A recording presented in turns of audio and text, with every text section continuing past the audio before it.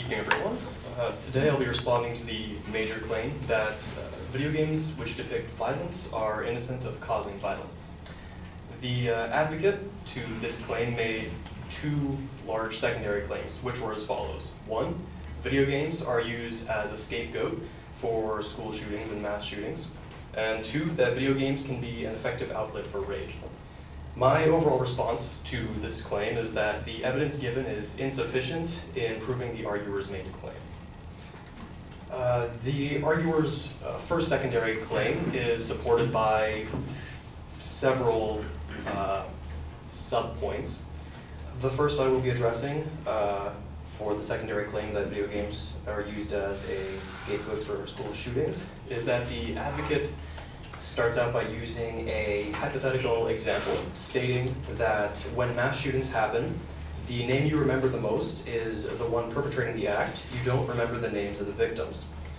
From this uh, hypothetical follows reasoning that uh, since the media glorifies violence, people who want their mark left on society will turn to violence for their own glory. Uh, however, no hard evidence is given to back up the claim that media violence has a more profound effect than video game violence when it comes to glorifying that violence, since the main claim was that video games are innocent of perpetuating violence.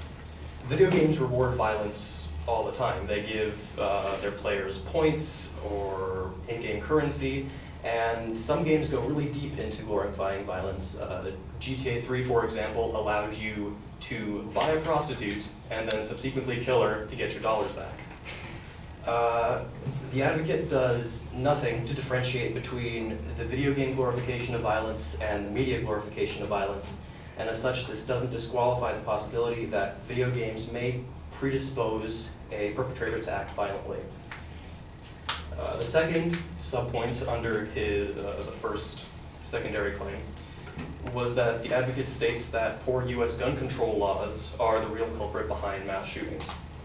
Uh, as an example, Australia uh, it is given. It's a country basically bereft of guns and has nearly no mass shootings.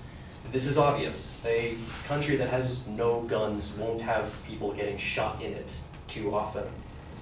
Uh, however, the major claim is that video games cause violence, not specifically gun violence, not specifically shootings.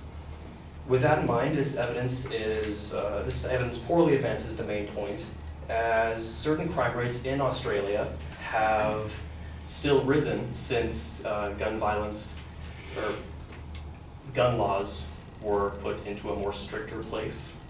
For example, there has been an observed 5% growth per year in violent assault cases from 1997 to 2005 and a number of sexual assault cases, which is up nearly 25% in 2013 than in uh, 1996. This information was provided by the Australian Institute of Criminology, updated uh, in 2015. Uh, these numbers, also these numbers have grown over the years as the video game industry itself has grown, which could open up possibilities of a comparison between the two, which was not addressed.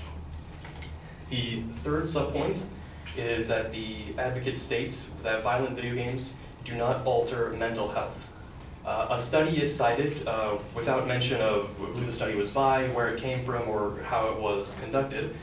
And the study suggested that exposure to violent video games was not associated with increased bullying or delinquency in children. To contest this, I present an article published by the American Psychological Association titled Violent Video Game Effects on Aggression, Empathy, and Prosocial Behavior in Eastern and Western Countries. This study collected data concerning uh, aggressive behavior, aggressive cognition, desensitization, and empathy uh, about video game players of all ages. The study suggests that exposure to violent video games is a casual risk factor for increased aggressive behavior, aggressive cognition, and for decreased empathy and prosocial behavior. The study was done in 2009, excuse me. Uh, so basically, what this study suggests is that video games are indeed a factor in certain mental health problems. The secondary claim was that video games can be an effective outlet for rage. The advocate's underlying argument here was that video games provide catharsis for anger and aggression within a person. This actually undermines the major claim that video games are innocent of causing violence. A study conducted in 2008 by Verona and Sullivan of the Department of Psychology of University of Illinois at Urbana-Champaign showed that reductions in heart rate after an aggressive response predicted the most intense aggression in subsequent tests. These results are in line with the catharsis theory, theory of aggression, which suggests that while a cathartic event may reduce immediate, immediate aggressive drive, the likelihood of future aggression is higher afterwards. Therefore, if video games are inspiring cathartic events in people who play them, the, uh, this evidence suggests that it is also perpetuating uh, future aggressive actions. As such, after considering all this information, it's uh, quite apparent that the evidence provided is insufficient in proving that violent video games are innocent of causing violence, and it's difficult to make sweeping claims such as this because it is a relatively new art form. Uh, thank you very much.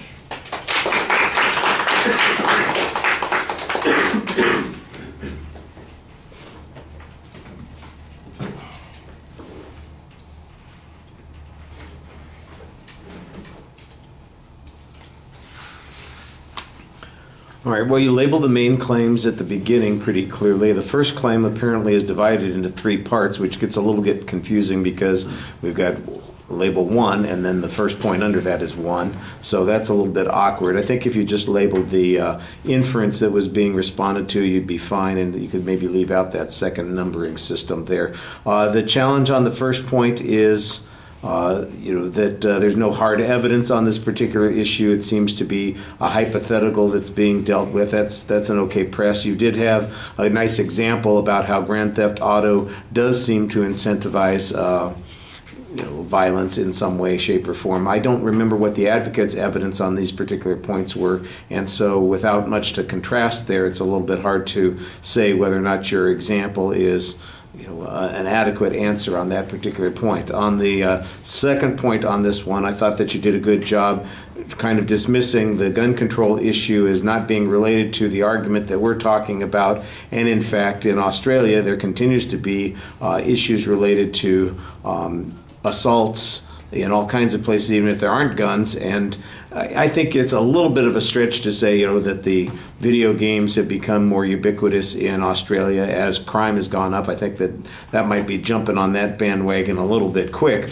But in essence, I think your real argument seems to be that gun control hasn't minimized any crime. It's likely that there is, in fact, some relationship here to these sorts of things. And um, you know, like I said, that's a little bit of a stretch. I don't remember what the advocates' information on that point was. I do remember them referring to the gun control issue. Um, I, I, did like the way you kind of dismissed the evidence from the advocate on that third point, where you suggest, look, they got a vague study that's not. Uh, you know, associated with any uh, particular uh, group or organization. And here is the study that I'm going to present from the American Psychiatric or Psychi- Psychology Association, and it, you know, and then you do this whole explanation about the data that's uh, provided there. I thought that uh, the conclusions of that were cited effectively, so that's good counter evidence on that particular point, and you got a little bit more contrast on that. Um, on the catharsis argument, I think there's an interesting point here that you say it seems to undermine the conclusion. I think you need to explain that Gesundheit a little bit more clearly. Uh, if the advocate is saying that it doesn't have any effect, all right, that's your second Gesundheit. After that, you have to get well on your own. All right.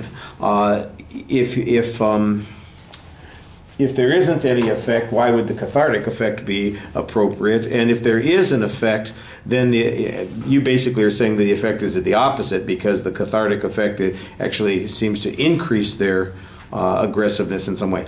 That point was not quite as clear to me. I mean, I understood you know the information you're presenting but the conclusion that you're drawing from it is not as obvious as i think you think it is and that's a little problematic all right thank you